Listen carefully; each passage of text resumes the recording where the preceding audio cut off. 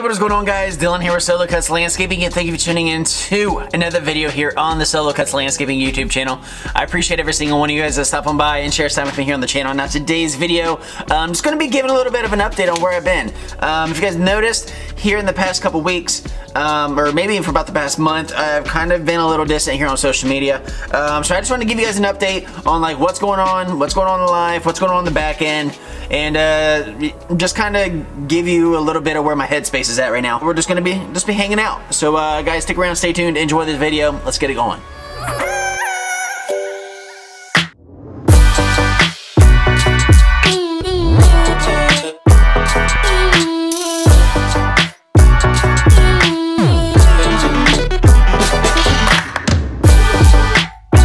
So, guys, if you are newer to the channel um, or you are just hopping on to the channel for the first time, thank you for stopping on by. I appreciate it. My name is Dylan, owner-operator of Solo Cuts Landscaping, and this is my YouTube channel. I bring this camera along just kind of documenting, documenting, documenting, documenting um, what I've been having going on. I was working full-time and running the business, and uh, this is our first year completely full-time. Of April of 2020, I quit my full-time job to take on the business full-time. So if you want to see kind of where we started to where we are now, there's 150 videos or so for you to check out and, um, and see where we started to where we are now. You can see that transition happen all the way across the board. So anyways, how have you guys been? Drop a comment down below. Let me know real quick what you guys have been up to. How's your holiday season been? Um, it's just, it's just been a minute. I'm not gonna lie, it's been a little bit.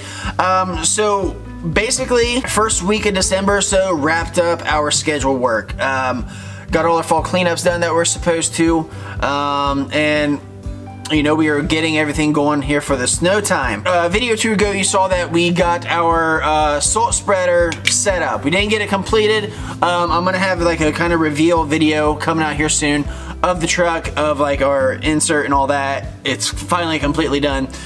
But just getting that put on, that salt spreader set up and everything um, was not the best process. When I say not the best process, um, Buyers was on back order for uh, multiple things. We got a stainless steel option. Buyers on back order for multiple things. So that was a delay. I put my order in for stuff in October and it just got completed last week. Like my full setup just got completed last week. Um, but the big issue was was the dealer I went through. The dealer I went through is who dropped the ball. Um, they told me three times all my product was in. I dropped my truck off. I, we may have dropped my truck off four times, and each time it was. First time was they got my product mixed up with someone else's, and my product wasn't in yet. They got mine confused with a, um, a poly dump insert deal. Um, second one, I confirmed with them. They said, yep, everything was in. Dropped it off. Only the dump insert was in. Only the dump insert and the salt spreader came in. So they, I said, well, at least just get the dump insert and salt spreader put on. Okay, so we got the dump insert on, salt spreader, but they didn't put the wiring harness on for the dump insert, or the salt spreader. It runs on a different harness than the dump insert. So I had to bring it back up there again. Keep in mind, these are all days, like this started happening in November and finished up in December. Every day that my truck is not on the road is a day that we are not making money, especially when we're going into our first season or winter full time. That's a big deal. That's a big deal right now.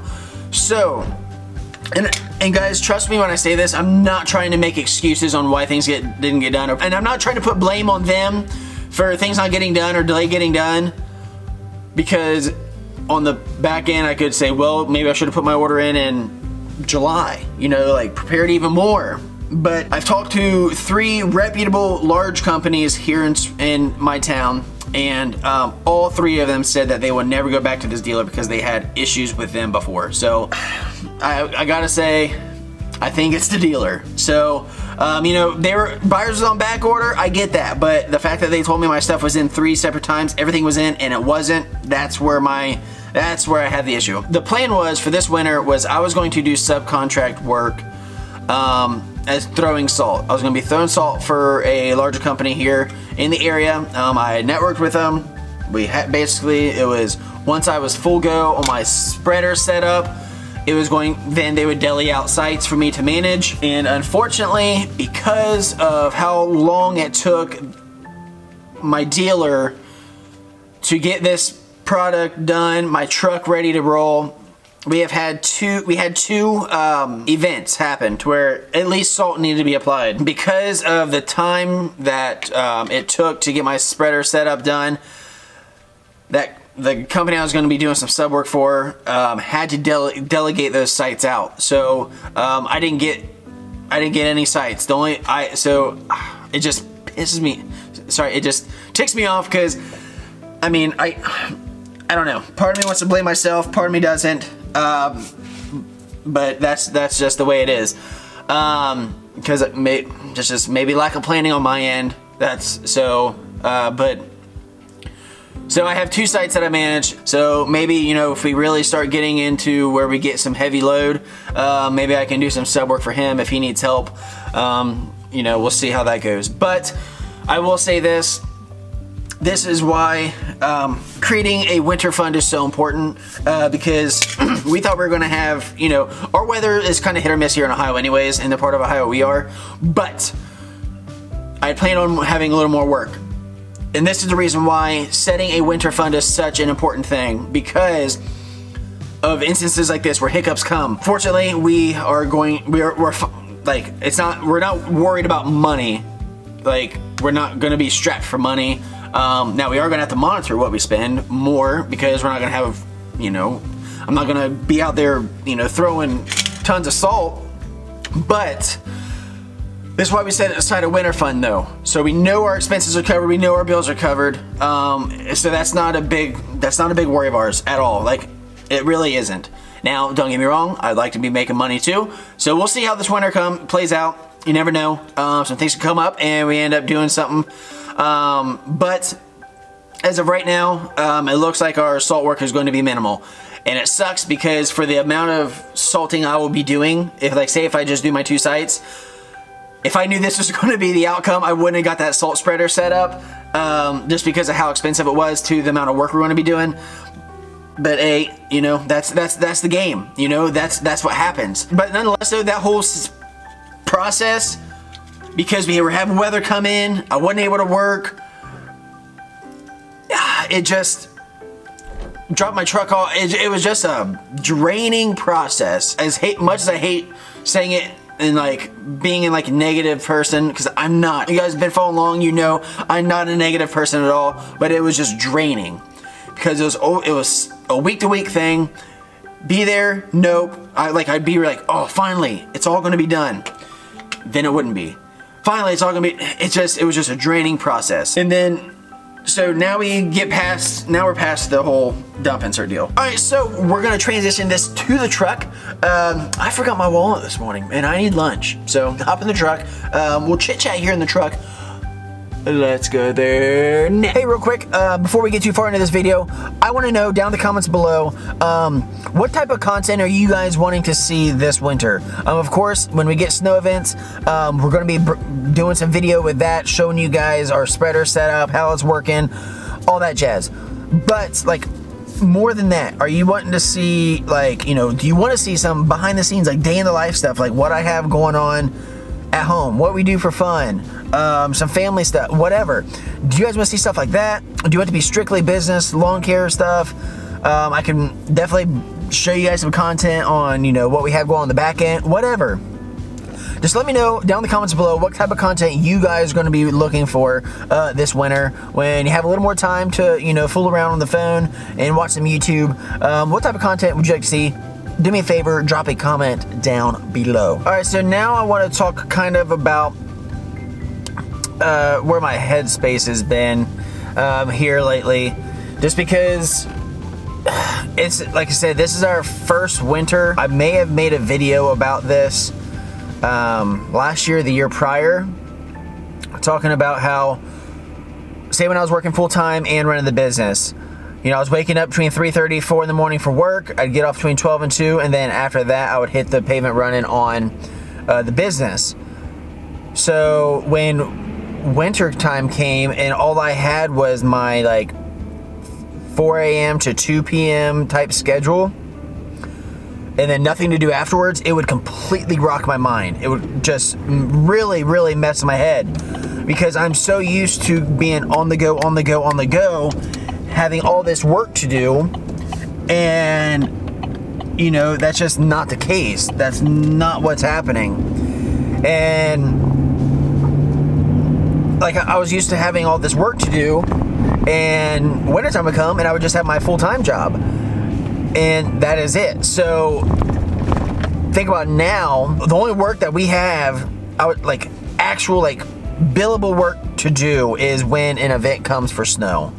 That is the only time. So like right now it's just a mental struggle. I don't know if it's just the winter blues just setting in, which scares me because we're just now getting into winter and you know, I'm already kind of feeling I'm already feeling weird, like just lack of motivation because I don't have that X, Y, and Z to get up and get going. I don't have that. Not to have a full schedule where I'm go, go, go, go, go. It is hard to slow down. And then when I, when it, so when it does come time to where it does slow down, I just fall into this hard slump and it is, I don't, it's hard to get out of, it's hard to deal with. It's just been a mental struggle, I guess you'd say, for the past month. So another thing that happened is that I, can, I can't believe I forgot about this. Uh, my wife, which is a state prison, she's a nurse there. And anyone that knows anything about the you know what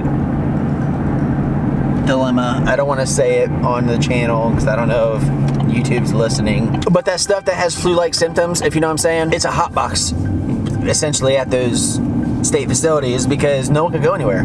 So if someone does get it, it's just like, well, what ended up happening is weekly tests and Jordan ended up testing positive. Um, so we had to quarantine. And then I ended up catching it. I didn't have taste, I didn't have smell, had headaches. That was about it. So I had to quarantine. I couldn't do anything. So talk about being down in the dumps is when like you're struggling with the fact of like you don't really have much to do right now. It's a slow time of season. Then you throw in where you have to be quarantined for 14 days or 10 days. I think it was 14, yeah. Then you have to be quarantined for 14 days. Now I'm trying to overcome it. I'm, I make this video here. I recorded a video earlier.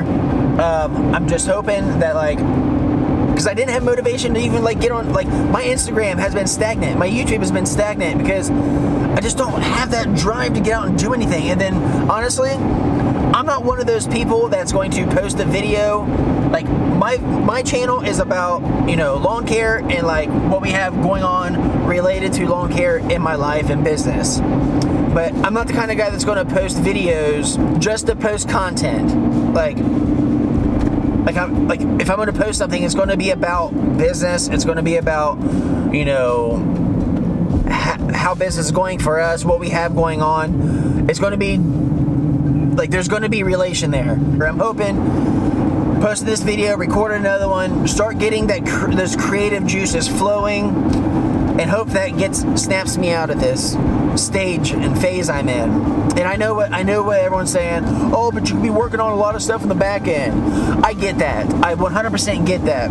But we all know, just like you and everyone else, I understand this back end work that's got to be done. And I am do like I have been, you know, like hitting some stuff, taking a break, hitting some stuff, taking a break no one likes to do that junk. That like you can't tell me like that is not something that's going to be like, oh, this is going to get me motivated. I'm going to sit on here on this computer, and I'm going to whatever. go through Yardbook and whatever like that's not what I'm it's not gonna get me motivated okay right now I need something that's going to jumpstart my motivation get me cracking get me rolling to then be like hey you know what you've been doing having a progressive week today hang out the house let's get some X, Y, and Z done. Let's update the website today. But I, like I said, I just need something to get me out of this. Like I said, this video is just all about giving you guys an update and kind of where my mental state has been. And it has just been at a low.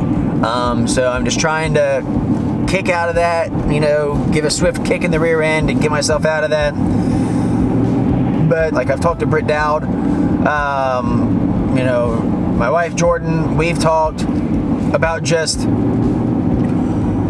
it is different because it is a slow period. And you know, like I go 100 mile an hour nine months of the year. Literally nine months of the year. I'm waking up early, getting home late, nine months the year, and like just being okay with slow time. Not okay in the fact of like,